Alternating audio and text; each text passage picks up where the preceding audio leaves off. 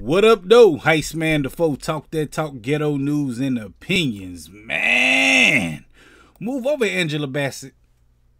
Wendy Williams is getting her groove back right now. Y'all know I'm talking about, man. Wendy Williams, man, she got that thing back in the streets.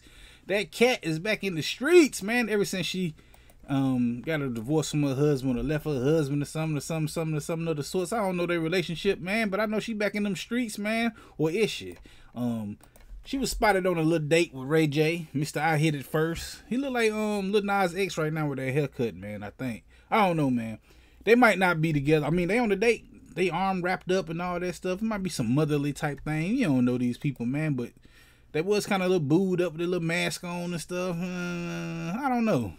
He was on her show the other day though. So we can't just take it like that. They might just went out on a little, you know, little dinner date after, you know, he come through and bless her with his presence on her show. And um, same thing happened with um, what's my man name, Gary Owen. When he went on um her show, he went on a little dinner date with her also. So it ain't necessarily they dating, but people spot them together and everybody think what they want to think, man. You know, the thirst could be real. She could just be out here trying to holler at everything, man. She back in these streets. Well, hold on, where that cat at again? She got the cat in the streets right now. So that's what it might be. She might need a little, you know, a little, little tune up. She might need somebody to come through and um do the thing, you know. So we don't know. Is is they dating? Probably not.